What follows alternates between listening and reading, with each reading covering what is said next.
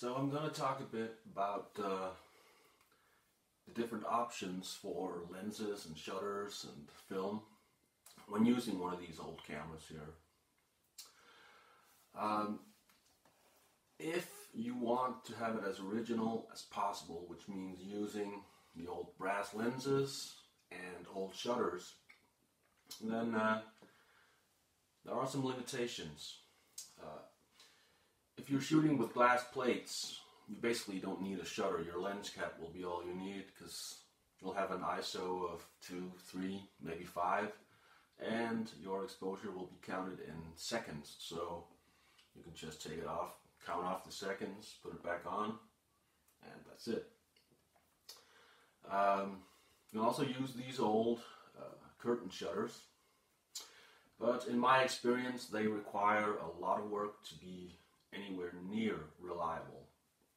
So if you want to use brass lenses, personally I would recommend getting one of these, which is an old universal shutter, which screws onto a brass lens, like so.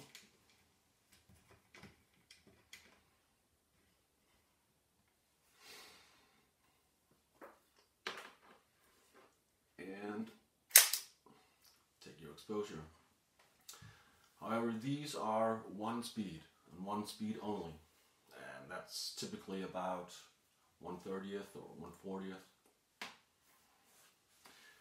What I prefer personally instead is using old lenses in compound shutters like this one. You can get great lenses and great shutters that still work fine, uh, lenses from the 30s or 40s and you'll get some more control over time. Time and aperture. Like this. But some people don't like that. They want it original and uh, I understand that. Now as far as your medium for taking the picture these cameras uh, work with these old wooden holders which are of course designed for glass plates and you can make your own plates. You can either mix your own emulsion and put it on, or you can buy a ready-made emulsion. But uh, for me, it is very time-consuming uh, to make an emulsion and to coat the plates. Uh, it's hours and hours of work to get to get just enough for a couple of photo sessions. So I prefer using film instead.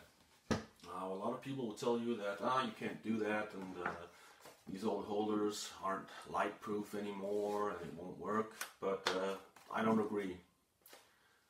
Often these holders will need a bit of work, but uh, just painting the inside of this door, in my experience, is plenty. And uh, I prefer to use film most of the time.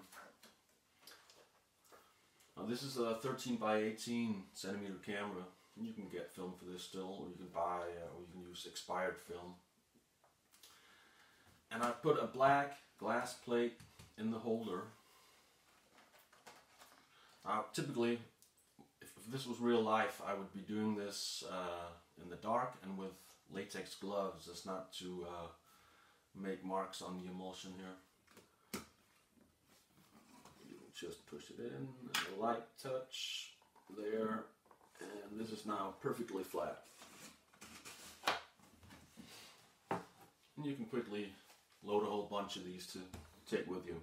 I know there are some people who will be appalled that I'm touching my film and they'll claim that I'm destroying the film and uh, yeah, well, in my experience, you have to be really rough with today's emulsions. If it's a modern emulsion, like an Ilford film, you have to be really rough with it to make any kind of marks on the film. Use gloves, use light touch, you'll be just fine. And, uh, well, I guess that's about it. Thank you.